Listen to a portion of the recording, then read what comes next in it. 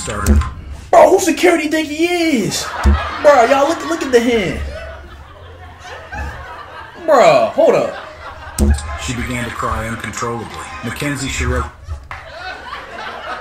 Bro, who the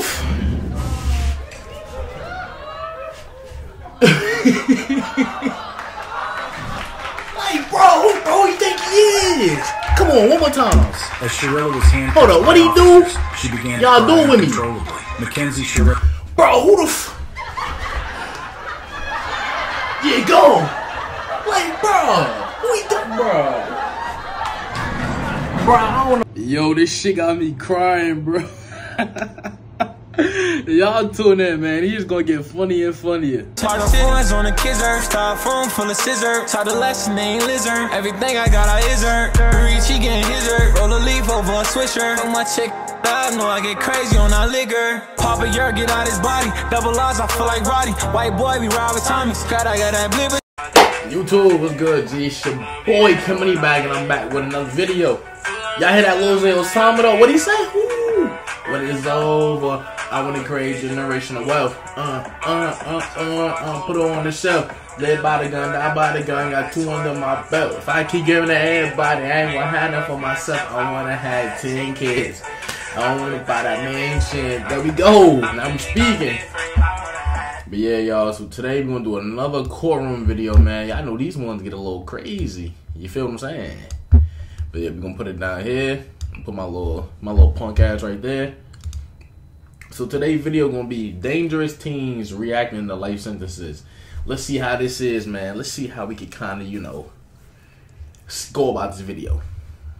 Hold up. There we go.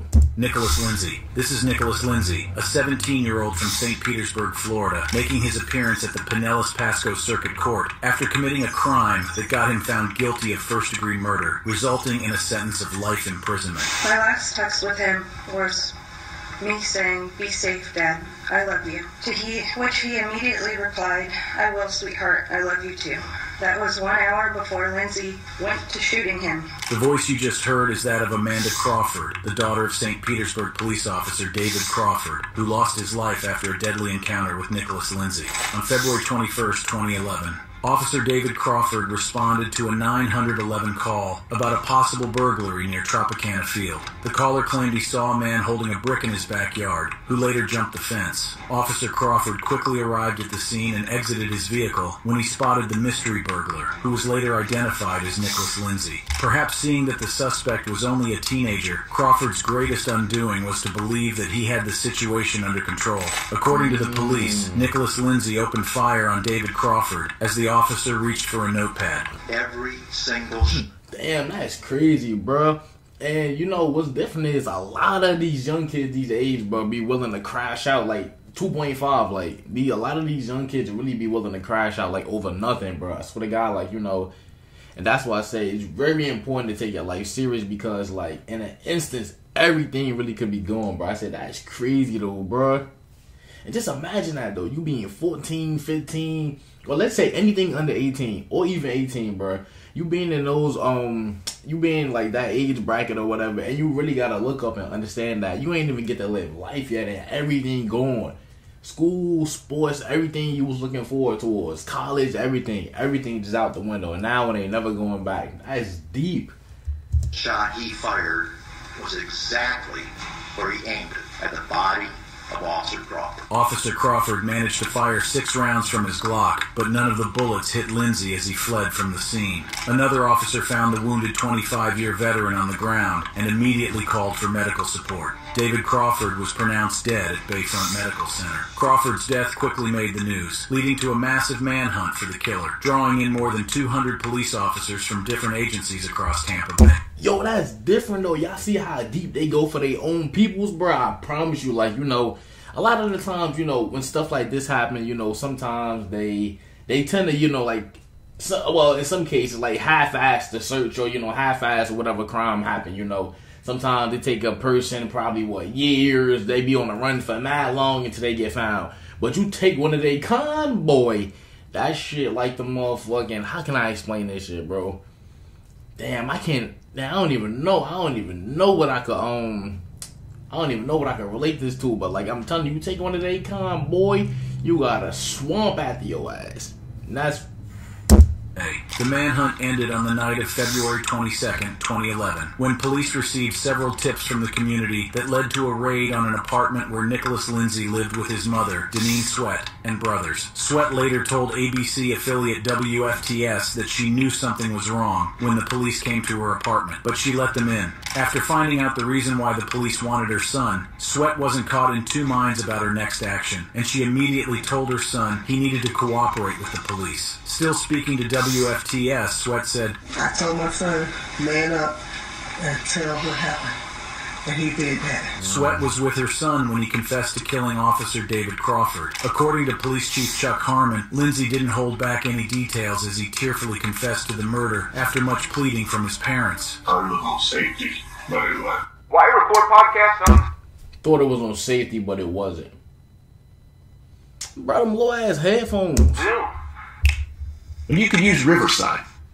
Switch to. You know, put it down on my thing on the shirt. Harmon went on to add, when he did make the admission on tape for us at the end of the day, it was quite apparent that he was remorseful in his actions. In his confession, Lindsay claimed he shot at Crawford's stomach with a gun he had bought for $1.140 off the streets a week before the incident. The then 16 year old also told the police he couldn't recollect how many times he fired at Crawford. However, the police later revealed that Lindsay had fired at least four rounds at the unsuspecting police officer. The killer teen fled from the scene and threw his gun into a creek. The murder case attracted much media attention because Crawford was the third police officer to die in St. Petersburg in less than a month. Damn, so it's like so it's basically like with his case or whatever, they was already on the go about, you know, a lot of this stuff happening. It's just that and you know, like it's crazy, it's like it's crazy that in his head, you know, he did he did whatever he did, not even knowing that his his reaction to whatever situation happened was damn near like the last straw. So it's basically like you could kind of tie this into into you know like back in school, like if a how if a motherfucker always getting bullied, then one day that motherfucker just man up and he like fuck it, this the last straw. He like bah, he start whooping that nigga ass. I'm coming, mm, mm, he stopping him out or whatever, or he telling him his shit I'm fried. Y'all get y'all one of these, but. But y'all know, like, like I was saying, like how he finally got his last stroke. Like, bro, I can't handle none of this shit. It's crazy because with all the situation going on with the cops or whatever, he didn't even know one of these last incidents he did was gonna be the last straw, and that's probably well, that's why they went so hard to go um to go find him. Surprisingly, the Pinellas County Courthouse was packed with reporters the next day as Nicholas Lindsay was formally charged with the murder of David Crawford. Although Lindsay had previously been charged in the juvenile system's truancy court, a murder trial was unfamiliar territory for the teenager. Inside the courtroom, Lindsay shockingly showed little emotion. Still, his father, Nicholas Lindsay Sr., broke into tears as he apologized to the family and friends of the slain officer. The visibly distraught father said, On behalf of me, a son, our entire family, we send our deepest and souls sympathies to him and his colleague that he worked with. It's not his son, but a son that it happened. Speaking inside the courtroom, Officer Crawford's partner Stu Crisco explained he has found it difficult to forgive Nicholas Lindsay, saying, According to my faith, I am supposed to forgive you. I do not know that I will ever be able to do that, Stu Crisco added, and I hope that you live to be a very old man, locked up, and every single day that you were locked away, that you can think of the choices that you made that night and all the things that you missed. After a week long trial in March 2012, 17 year old Nicholas Lindsay was convicted of David Crawford's murder and sentenced to life imprisonment without the possibility of parole. Although Lindsay Damn, see? And that's crazy. Look how fast you really could throw your whole life away, bro. And that's I forgot how they call it. What they say, one five second rule could could end everything, something like that. Y'all know the context I'm saying. But I said that's crazy. I said, look how what was it, four shots? Look how four shots to one person took his whole life away, bro. And like he young as hell. And see how, you know, the officer, you know, his partner was like, I don't think I'll be able to forgive you and all that. And like I said, that stuff is deep, man. So when they sit up here in these courtrooms and they start wilding or they be all over the place, I get it. Like I get that the judge and the court and the um people in the courtroom be trying to actually, you know, make the stuff organized. They don't be trying to cause more commotion. But bro, it's hard to actually sit up here and be in the same room with somebody that took well, I'm gonna say call traumatic experiences. Y'all know my little term. Don't steal it, and I'm gonna get a trademark on it. But y'all, you know, for somebody to sit up here and cause traumatic experiences to you, your family, and you know your peoples or whatever, at the end of the day, you can't really sit in the same room with them and try to really like just be like OD calm. It's just that you know the only part about not forgiving though is that like you still hold that like like remorse that that grudge in it though. But I say you know you should forgive in context. I say you know forgive in a sense of like letting go to let your soul be free, but you don't gotta fuck with the person. I think people be trying forgiving and to be cool now. Like nah, still you know. He was tried as an adult. His age was still pivotal in helping him to avoid the death penalty. Two years later, Lindsay's life sentence was upheld in court following an appeal, and the convicted killer shocked everyone when he grinned on hearing the judge's ruling. Many were taken aback by the lack of remorse shown by the teenager, especially David Crawford's daughter, Amanda. While speaking to reporters after the ruling, Amanda called out Lindsay's awkward reaction in the courtroom. Justice and I thought it was over. It just kind of proves to me that these animals. Tell me about your new neighbors. Don't start, bro. Don't start, bro. Come on, come on, come on, come on, come on. They're saying that they're smiling. Danta armed robbery. Count three, conspiracy to commit armed robbery. Count six, the felony firearm. And in added count seven, murder in the second degree under Pact Code 750.317. That is a felony punishable by life or any term of years. When it comes to shocking reactions to life sentences from teenage killers, very few come close to the chilling smiles and unbothered disposition of 18 year old Danta Wright, who was appearing at the Washtenaw County Trial Court, Ann Arbor, Michigan, for the gruesome murder of 18 year old high schooler Jordan Clee. Jordan Clee was a senior at Pioneer High School and also one of the best footballers in his school. He dreamt of going to college at Michigan University and joining their football team. Unfortunately, that dream never materialized, as Clee didn't even make it to his high school graduation. On October 4th, 2016, Clee was found dead by a maintenance worker at an apartment complex at Pine Lake Village, Ann Arbor. He had a single gunshot wound to his head, and his body was lying on a path outside the condominium complex. Really sad, really sad. Everyone was crying and stuff.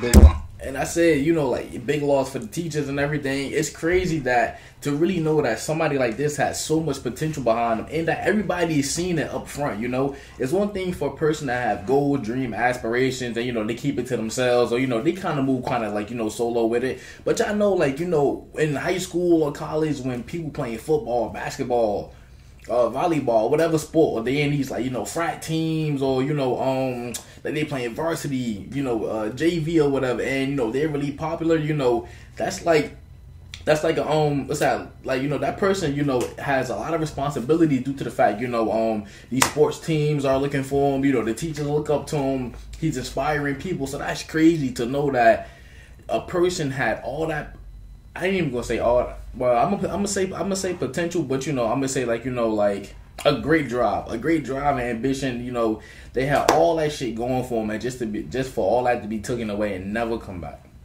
Loss for the teachers. Police officers were immediately called to the scene, and a thorough investigation was launched after the death was ruled as a homicide. Following some tips, three suspects were arrested in connection with the killing of Jordan Clee, Danta Wright, Delrano Gracie, and Jamarius Ellison. They were all teenagers at the time of the crime and allegedly belonged to a street gang. Several months after Jordan Clee's death, Danta Wright left everyone stunned when he casually confessed to killing Clee with the help of his friends during a June 2017 hearing. Wright explained that the trio had attempted to rob Clee when things went south, and he shot him in the back of his head. And as a result of that armed robbery, um, what did you do with that gun in Mr. Jordan, Clee?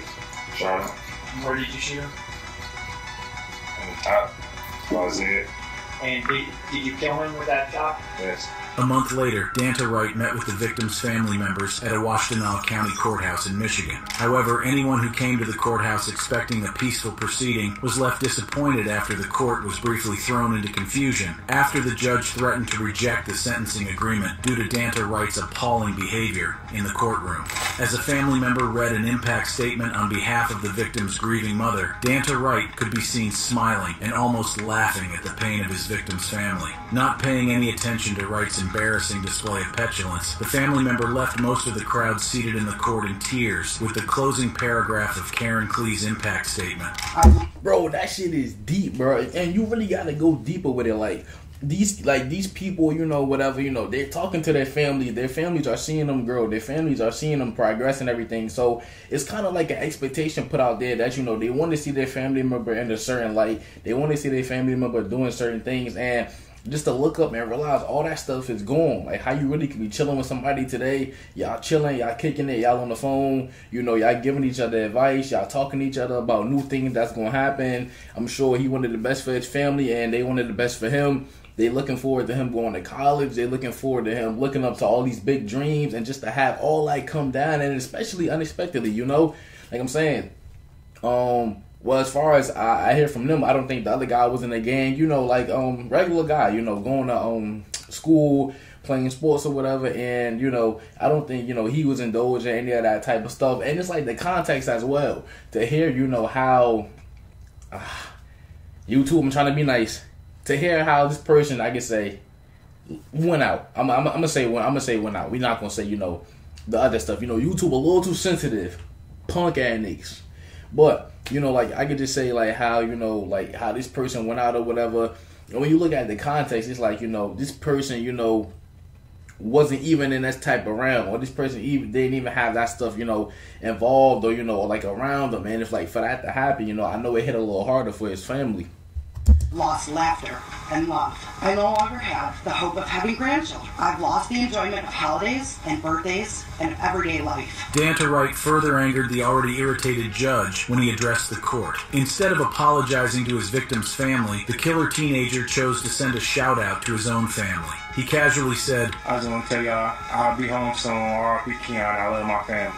At this point, the 22nd Circuit Court Judge David Swartz had just about had enough of Wright's attitude, and he asked the prosecutors if the sentencing agreement was too lenient. He said, watching you sit there smile and laugh and shake your head like this was no big deal. I'm very tempted to just say, I'm not going to accept this sentence agreement. We'll go to trial. And if you're convicted of felony murder, you'll go to prison for the rest of your life. That means you'll die there. The court then proceeded on a short recess to allow the prosecution to deliberate on whether to take the case to trial, as the judge had suggested. Ultimately, Jordan Clee's family asked that the case not go to trial, as that would only bring them more trauma. When the sentencing resumed, Wright's lawyer apologized to the court on behalf of his client and blamed the inappropriate behavior on some emotional issues suffered by Wright. Judge David Swartz subsequently imposed a 23, 50 years prison sentence on Danta Wright for the murder of Jordan Clee. With how grim prison experience is, hopefully Danta Wright has kept a smile on his face throughout. That's different. And on top of that, apologizing don't be enough, bro. Like anybody, you know, with common sense to know, like, okay, if I'm in this courtroom, I'm a well, I'm I'm not gonna say in all cases, but some people know, like, at least let me try to act sympathetic, or at least let me try to, you know, act like I actually give a, you know, about what happened. I mean, I can say some people they only start crying or they only care because they know some some of them sentences will smack them right in the face. But a lot of the times, bro, like how they be trying to act, you know, fake remorseful and all that, bro. That don't take back none of that. Like, you know, causing traumatic experiences to somebody's family, then trying to, you know, act remorseful after that, that don't go hand in hand. That don't match. Jennifer Mee. In another life, Jennifer Mee could have been a reality star or social media influencer. Jennifer certainly could draw public attention and demonstrated this when she first burst into the limelight in 2007. The then 15 year old gained national fame when she developed an unusual case of uncontrollable hiccups. I get really bad chest pain, abdominal pains, throat pains, back pains. unbelievable. Jennifer Mee's search for a cure to the hiccups earned her the nickname Hiccup Girl, and during that time she appeared on several television shows nationwide in a bid to find a lasting solution to her hiccups. After suffering the mysterious symptoms for over a month, the hiccups finally stopped when she was treated by Dr. Bob Lind. Although the media attention reduced drastically after she was treated, Mee continued to make the headlines, albeit for the wrong reasons. In June 2007, when she ran away from home, it was reported in the newspaper. Also in 2010, Hey, stop training people in person. Brandon, every time. I get it, man. Like, I, I like what you're doing, bro. I like your fitness stuff, but I'm trying to do a video, man. To make money as a Glad personal boy. trainer. It's trash.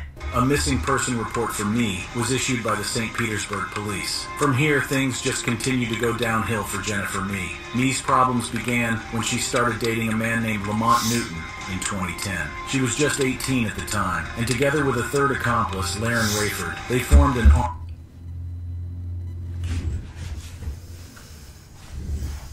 Bruh. Who the f- She was just 18 at the time, and together with a. Bruh, who the.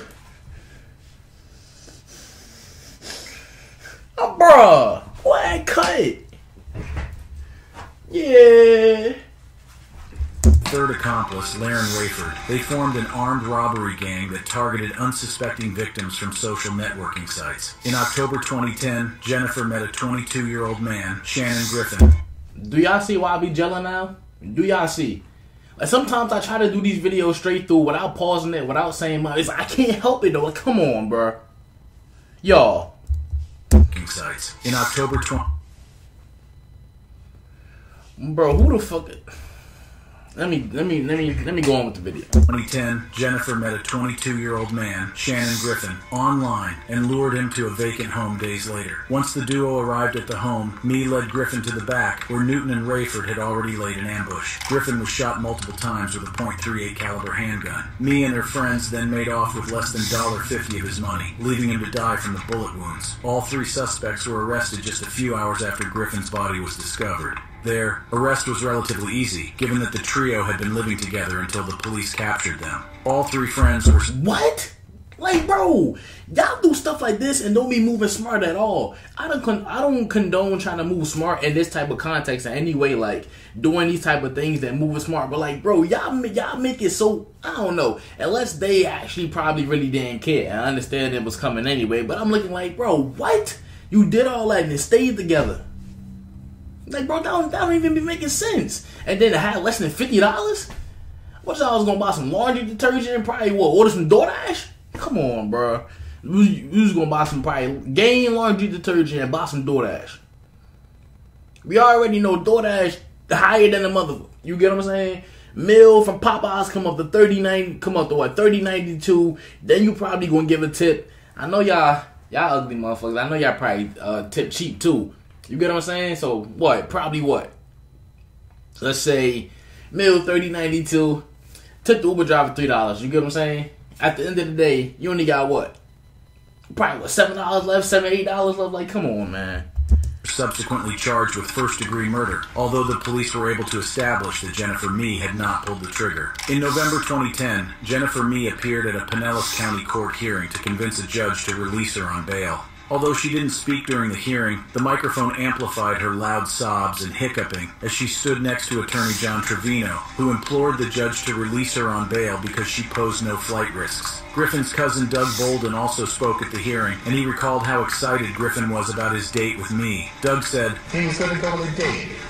He just said he was going on a date. Just a young pouch-aged kid grinning ear to ear, about to go on a date, as happy as could be. Following Doug Bolden's passionate plea, Jennifer Mee was denied bail by the judge and remanded in prison. Nearly three years after Griffin's death, Pinellas County Judge Nancy Moate Ley found Jennifer Mee guilty of first degree murder. Um, the jury having found you guilty of murder in the first degree, Miss Mee, I will adjudicate you guilty and sentence you to life in prison without parole. On hearing the verdict, Jennifer Mee began to weep uncontrollably and at the same time held her head with her hands. The look on her face was that of someone suddenly hit with the reality that her life was ruined. Jennifer Mee sobbed some more as she was led out of the courtroom to resume her jail Like, listen, bro. I don't judge. We've done a lot of stupid stuff in life, but it's just some stuff you gotta understand what come with that stuff, though. These people really be expecting to do all this and not have no type of consequences to them. Like, bro, y'all be in here smiling, looking for looking to get a year or something. Like, you really sit up here, I bet, you know, let me see. I'm kind of bored today. Let me go call traumatic experiences to let's say three people. Or let's say, let me do some bullshit to a random person. And then, like, I bet, you know, when I get in the courtroom, hope the judge don't be on some bullshit. Probably give me a year or something. Like, what? Like, y'all, bro, y'all be wanting two months? Y'all be wanting two months after doing stuff like this. So you look up and you want to get two months. Yeah, I'm gonna do some bullshit in January. Case probably gonna drag a little bit. So if I get sentenced in March, you know, by May I'm trying to get out. And y'all had to, you know, do the little shit on my fingers, you know. A nigga ain't that good at math, so y'all take it easy on him, brother. I love y'all though. But you get what I'm saying though? So you get sentenced in March and you wanna get out you wanna get out in May, right? You wanna get out in May. March 15th you go in, May 16th you wanna be right back on the block. Shit don't work like that. Mackenzie Shirilla. Hell hath no fury like a woman scorned. Ooh, she gotta be Jewish or something. She gotta be Jewish or something. She petite as hell, just how I like him, y'all. I love me a petite girl. I swear to God. Mackenzie Shirilla. Hell hath no fury. Yo, like, yo, no bullshit, bruh. She's sexier than a mother. No bullshit. Like I ain't even caring with you right now. Like I said, she gotta be Jewish or something, though, bro. Like she bad as hell. But you know, due to the fact of character wise, no. You know, like but but like I'm talking about like besides aesthetic wise, you know, like her like being eye catching, you know, besides that, he's a fucked up person. Like a woman scorned, and in this case, Mackenzie Shirilla became hell on earth for her victims, boyfriend Dominic Russo and his pal Davion Flanagan, as she executed a death sentence on them using her Toyota Camry car. For this cowardly act, Mc- Hi, my name is Solani. I'm a kid that got a Kip Secret Academy. You know what? I was gonna complain about the ad, but you know, baby girl, I'm proud of you. And it Kip, you know, um, that's a school that's the neighborhood, you know. So, baby girl, I want you to do good. I want you to um to succeed at whatever you doing. But I still gotta do my video. No hard feelings towards you though. Keep doing you. Keep being you. The Explorer head, Annie. Mackenzie Shirilla rightly earned the nickname Hell on Wheels. Shirilla and Dominic Russo were an item for several months, and most of their social media followers believed all was well with the young lovers. They See, bro, that's what we be trying to tell y'all, bro. Stop believing that bullshit.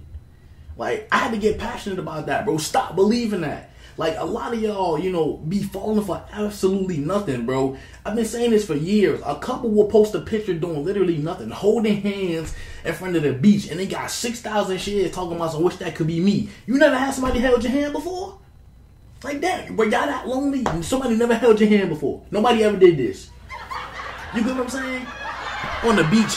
Yeah, you know, wish that could be me and my man. Or they tagging their boyfriends. Why you don't treat me like this? Like, bruh, you you sit up and tagging your boyfriend over a post of somebody having their hands held. Yeah, bro, I ain't, I ain't holding your hand because I want to hold that shit. You get what I'm saying? Now you arguing with your man. You get what I'm saying? Probably be ugly as hell arguing. Yeah, bro, I don't want to hold that shit. Fuck. Boy, we don't gotta be together. like, come on, bro. Y'all sitting up there arguing about that. I'm jealous. She ain't going down like that. regularly shared loved up photos and videos on their social media profiles, which sold the narrative to many of their social media friends that the duo was the real deal. However, behind the scenes, this was far from the truth. The love they once shared seemingly fizzled out, and the duo constantly fought and argued. Their relationship became so toxic that threats became common, and at this point, Russo decided it was time to quit. This was the obvious solution for any right-thinking person, but Shirilla saw Russo as hers and decided that death was the only way out of the relationship. So around 5:30 a.m. on July 31st, 2022, the oh, then 17-year-old drove her Toyota Camry at over 100 miles per hour and rammed into a large brick building at the intersection of Progress and Alameda Drives in Strongsville.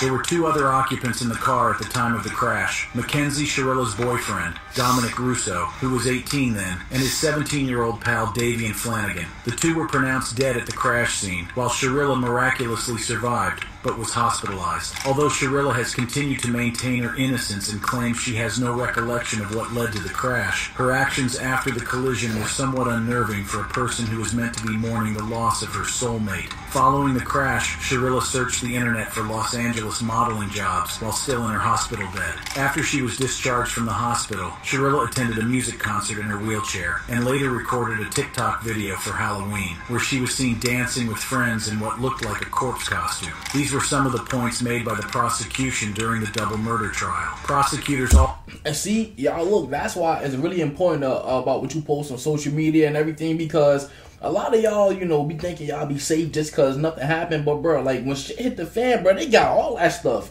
These motherfuckers will pull up a picture from 2017 when you had your little ass mohawk and, you know, big ass shirt on. You like, bro, what the fuck? Like, you like, bro, come on. You know what I'm saying? You the man. Yeah, just got my shit cut, bro. You like. You gonna be ugly hell in the courtroom with your shit up there. Yeah, bro, shit fresh, huh? Like, bro, big ass white shirt. What's up, bro? You know what I'm saying? But I'm like, bro, that's crazy. And see, a lot of the times, bro, you really can save yourself the trouble, but sometimes shit get too deep. Like even for me, right? There's a lot of points in life, like you know, I'ma just give an example of I can say dodging a bullet. You know, you ever had you know somebody you was kicking it with or somebody you was cool with, and then you know stuff fizzle out, and you feel some type of way about it, and you want to rekindle things, or you know something that's constantly on your mind, but then at the same time you look at it as like you know it ended for a reason so you try to look at everything as a blessing you know. Sometimes stuff get too deep and the stuff that was supposed to end or the stuff that wasn't going to go good anyway a lot of the time be grateful when that shit just drop or when that shit you know um stop being set in stone and you know fizzle out another way without the uh, without the drama to it.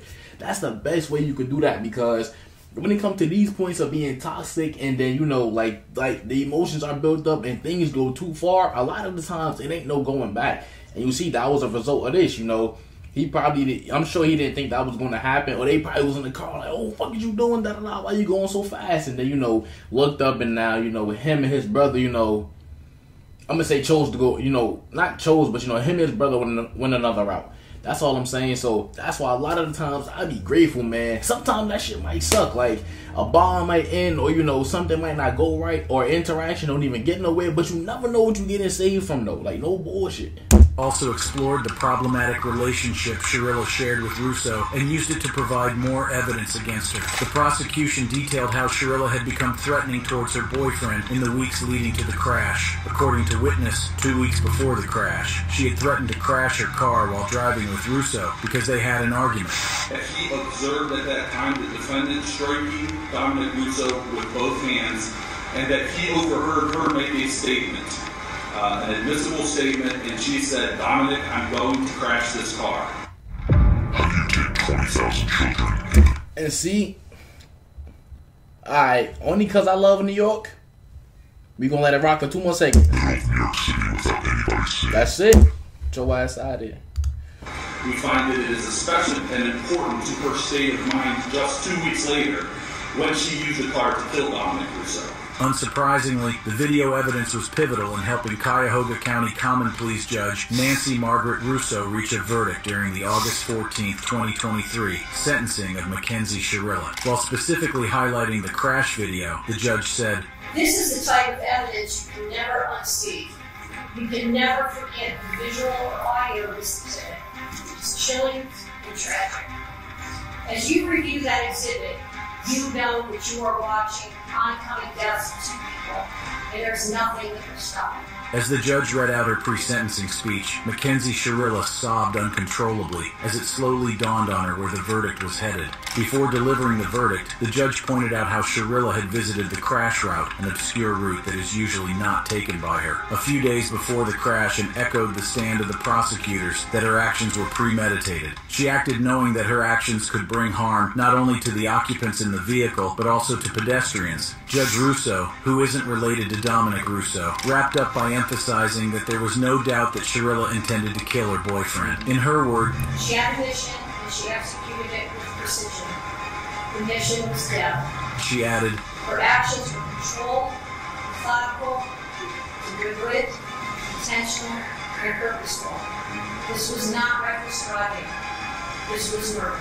Judge Nancy Margaret Russo found Mackenzie Shirilla guilty of killing both Dominic Russo and Davion Flanagan. She subsequently sentenced her to two concurrent 15 years to life sentences. As Shirilla was handcuffed by officers, she began to cry uncontrollably.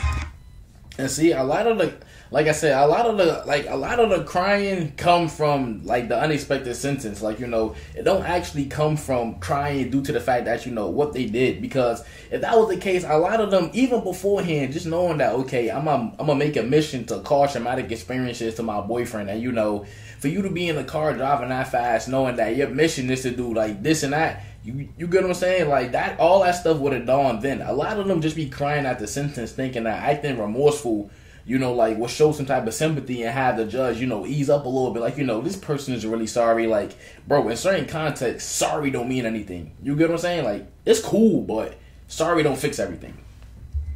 Mackenzie Shirilla was then escorted out of the court to start her. Bro, who security think he is? Bro, y'all look look at the hand. Bro, hold up. She began to cry uncontrollably. Mackenzie Shirilla. Bro, who the f-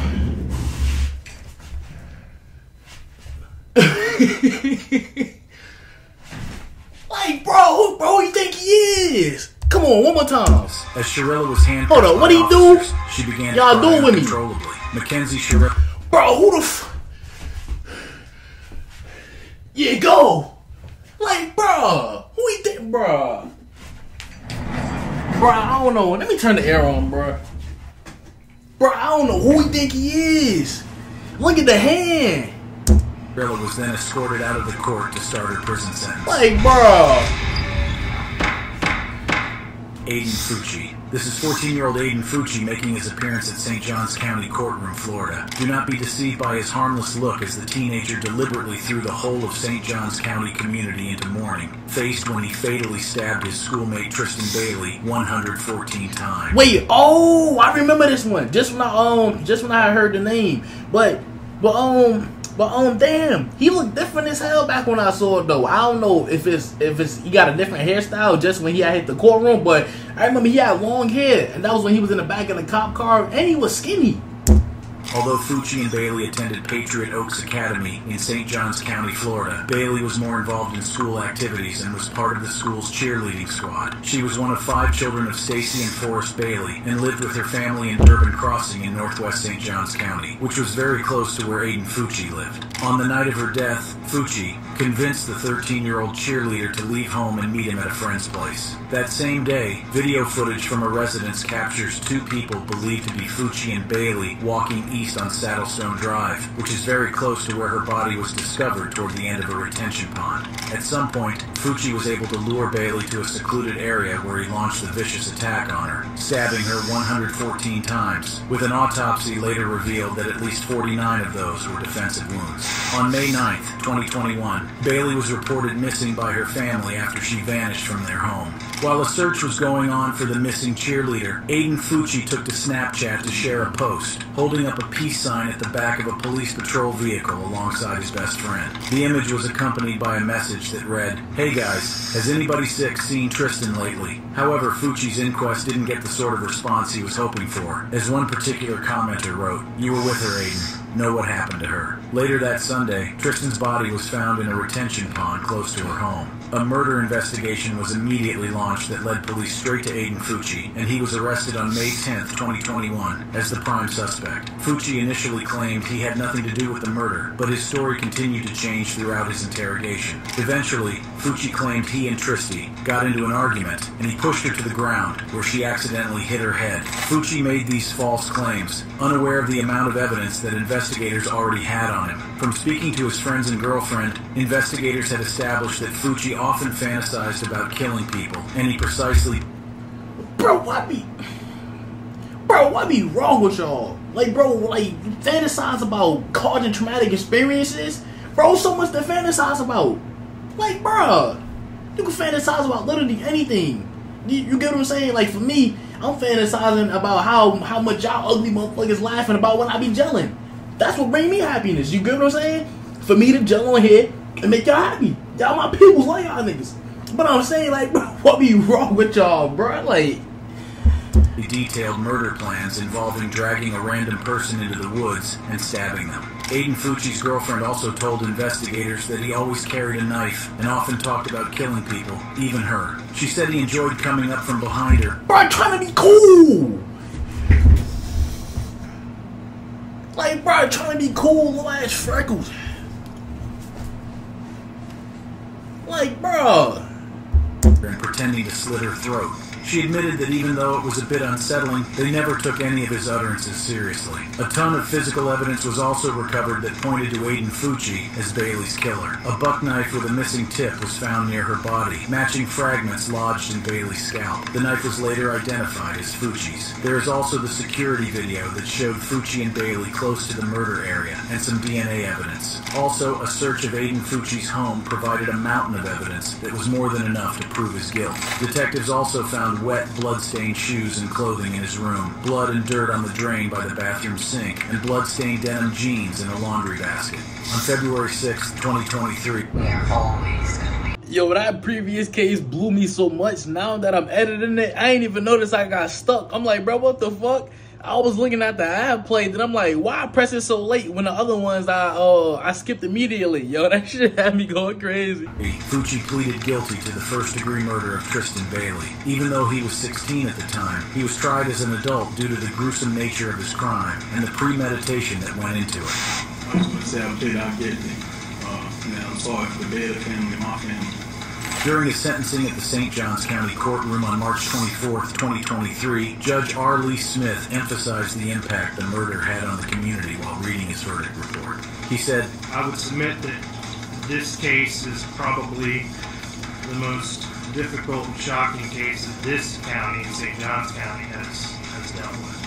In the 20 years that I have been, or 16 years that I have been practicing law, Even though Fucci paid close attention to Smith's verdict report, he remained stoic and showed no emotion, preferring to shake his head a few times. Mr. Fucci, having entered a plea of guilty to the crime of first degree murder, I adjudicate you guilty of the premeditated first degree murder of Tristyn Bailey. I sentence you to life in prison. Even when the judge found him guilty of the premeditated first-degree murder of Tristyn Bailey, there was no visible reaction or emotion from him. Just a cold, lifeless look that would give the faint-hearted nightmares. The judge Nah, trust me, that shit hit, bro. Like these these niggas not hard, bro. You get what I'm saying? That stuff hit after a while. I mean, of course, some people let it all out in front of everybody, and some people want to act stoic like it don't touch them. Think about it, bro. 16 years, 16 years old, and knowing that you never touching outside again. Besides, like when y'all probably go outside in jail, you know, like how that is. But I'm talking about actually, you know, when it come to calling up the homies and doing certain stuff, like knowing you never touching that again, bro. Come on, that stuff hit. These people don't be hard, bro. judge imposed a life sentence on him to ensure he wouldn't be causing any more problems in St. Johns County or anywhere else. However, his age at the time of the crime means he would be eligible for parole after serving 25 years out of his sentence.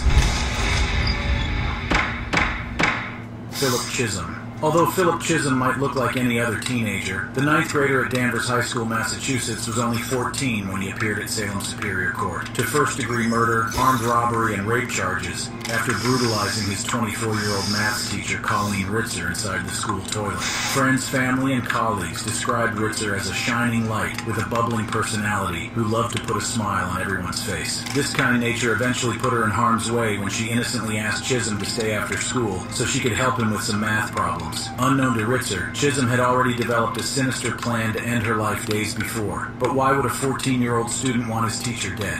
Philip Chism never provided any explanations for his actions, but a student who had witnessed a minor fallout between Ritzer and Chism provided some investigators with some insight. The student witness recalled seeing Chism get visibly upset when Ritzer innocently referred to his recent move from Tennessee during a discussion with him. The teenager relocated to Massachusetts from Tennessee with his mom, who was going through a bitter divorce with his dad. Even though Ritzer quickly changed the topic, Chism still appeared upset, and the student witness later observed him talking to himself. Several hours after that fallout, Philip Chism had done the unthinkable, and footage captured by the school's newly installed security camera system showed that it was premeditated. On the morning of October 22, 2013, the security cameras showed Chism arriving at school with several bags, which were put in his locker. Inside the bags were a mask, box cutter, and change of clothing, tools he intended to use to carry out his evil plot. Around 2.45 p.m., Ritzer was recorded exiting the classroom and heading for the second floor women's bathroom. A few moments later, Chism peeps into the hallway in the direction of Ritzer before ducking back into the classroom. He then reemerges with his hood over his head, trails Ritzer, and pulls on gloves before entering the same bathroom. Once inside the bathroom, Philip Chism robs Colleen Ritzer of her iPhone, credit cards, and underwear before raping and stabbing her 16 times in the neck with a box cutter. Between 3.07 p.m. and 3.16 p.m., Chism was captured on the security camera wearing several different outfits and going around the parking lot and classrooms before finally returning to the bathroom. He then put Ritzer's body inside a recycle bin and hauled it outside the school through an elevator. He dragged the bin to a wooded area outside the school where he again raped Ritzer's lifeless body, but this time with a tree branch. After this act of savagery, Chism went on about his day like nothing had happened and even left school early enough to purchase movie tickets with Ritzer's credit card. What? it, bro, is this shit real? Bro, ho, y'all, we gotta run that whole thing back. Now, this this one caught me off guard the most. I swear, I swear to God, I can't even jail off this one. Like you know, a lot of times when you know it's the regular, it like I'm not gonna say regular cases, but you know, like it's the same cases back to back. Like okay, you know, like uh, you know, manslaughter or this and that. It's like you know, even though it's still fucked up, it's like alright. But yo, this one, bro, bro movie tickets, bro, mo- movie tickets, the movies. and put Ritzer's body inside a recycle bin and hauled it outside the school through an elevator. He dragged. Let me make sure we still rolling good though. What we at? Ah, hold up. What the hell? Uh, there we go. Alright, 44 minutes. Alright, cool. Look, I had somebody in. Love y'all niggas.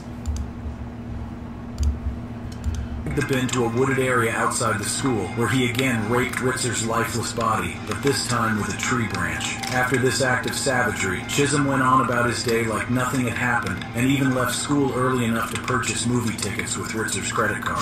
While all of this was happening, a search had already begun for Chism after he was pinned as the main culprit following. Bruh, the movies though. What the f- What the like think about it after that, how can you even concentrate watching the movie and what the f- do you wanna go see? What the hell's in it? What do you wanna go see? Bruh. Following Ritzer's mysterious disappearance and the discovery of blood in the bathroom, the bloody recycle bin, and her blood-stained clothing near the cross-country path in the woods behind the school.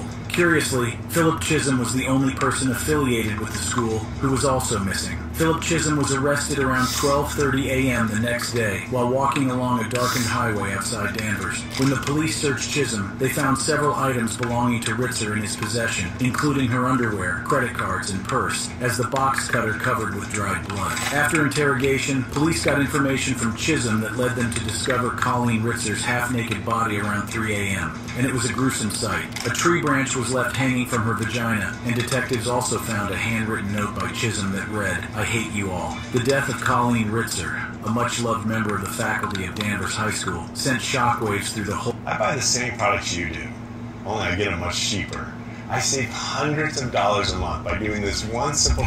Yeah, bro, I say hundred dollars by doing this. Yeah, bro, I say mad money. Hey, bro, come on, little ass bang. Yeah, bro, I say money by doing this. Bruh.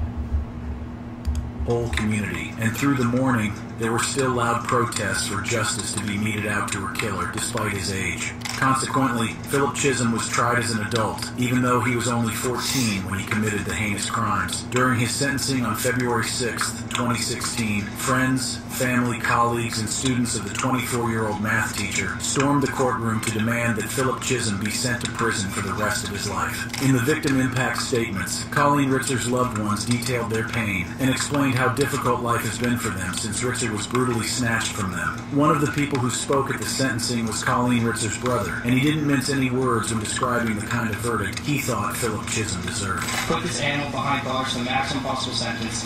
Do not give this coward the opportunity to shatter another family's lives. These sentiments were re-echoed by Colleen Ritzer's mother, who described her daughter's killer as pure evil that can never be rehabilitated. Chism remained expressionless as he watched the victim's family and friends tearfully describe the pain the loss had brought upon them. There was nothing in his demeanor that suggested he felt any remorse for his actions, much less regret. After hearing all the various victim impact statements, the judge sentenced Philip Chism to at least 40 years in prison for the rape and murder of Colleen Ritzer. On hearing the verdict, his mother, who was in the courtroom, broke down in tears. However, Chism showed no emotion as he was handcuffed out of the courtroom.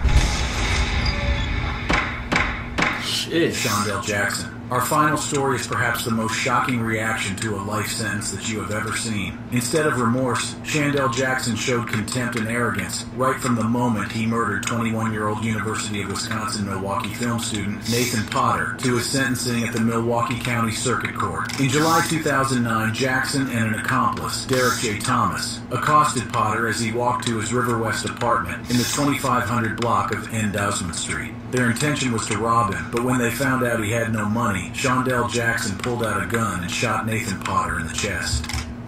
What?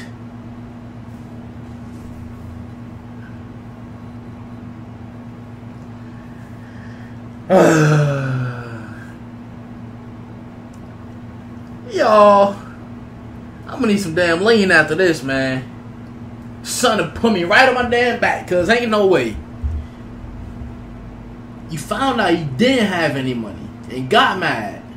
Found out he had no money, Shondell Jackson pulled out a gun and shot Nathan Potter in the chest. It was a senseless killing that didn't have to happen, but Jackson's thirst for blood and violence was apparently on overdrive, as he was involved in another non-fatal shooting on that same day. The then 19-year-old was arrested shortly after killing the film student, but no one was prepared for the sort of drama that unfolded thereafter. In February 2010, a jury found Jackson guilty of being a party to a crime of first-degree intentional homicide and attempted robbery of Nathan Potter. However, Jackson shocked everyone in the courtroom with his reaction to the verdict, as he turned to his victim's family and rained obscenities at them. A few minutes after this strange outburst, Jackson is being led out of the courtroom by deputies, and just as he reaches the door, he turns towards the Potters and laughs. A few months later, during Shondell Jackson's sentencing, Assistant District Attorney Mark Williams played footage of that disgraceful moment for Milwaukee County Circuit Judge Rebecca Dallet in a bid to demonstrate Jackson's unremorsefulness and get her to rule out any possibility of parole. After the tape was played, Nathan Potter's father, John Potter, got a chance to address the court, and in between heavy sobs, he urged the judge to put Jackson away for good. He said, Judge, there's nothing that can be said to bring back our Nathan. But, your sentence can ensure that Chantel does not have the opportunity as a free man to inflict pain like this again. Is there such thing as pure evil? We think so. In the end, the tactic employed by the prosecution proved to be successful as Judge Dallet sentenced Shondell Jackson to life imprisonment without the possibility of parole. The verdict provoked a violent outburst from Jackson in which he aimed a string of obscenities at the judge as well as the victim's family.